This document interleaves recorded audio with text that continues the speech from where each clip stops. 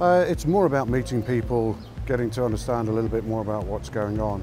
I'm already familiar with the African market, less so on the technology side, but I'm also interested in that. A certain amount of this is actually giving back and supporting what's going on as well. A lot of my investors are not terribly interested in supporting the African markets, they're interested purely in making money. And if we're going to make money out of it, let's try and give something back along the way.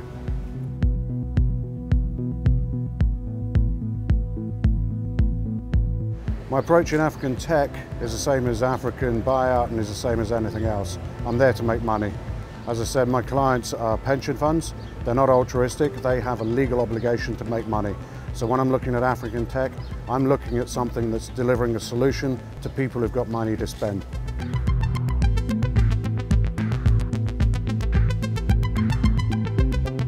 Yeah, one of the things that people will often tell you is that if you're investing in Africa, it's going to be higher risk, therefore you should be getting a higher return.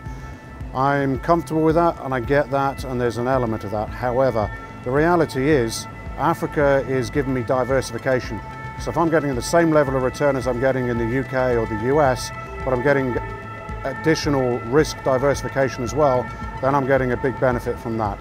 So it doesn't have to be a higher risk, when I'm looking at risk, when I'm considering return, I'm looking at where my money or my client's money will be spent otherwise, and that's in public markets. So I want to get a return that's higher than on public markets, probably of the order of 5% higher.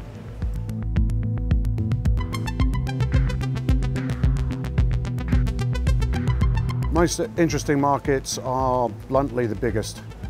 Where you've got numbers, you can actually make money. If you can sell something to every Nigerian for one naira every day, you're going to be fabulously wealthy.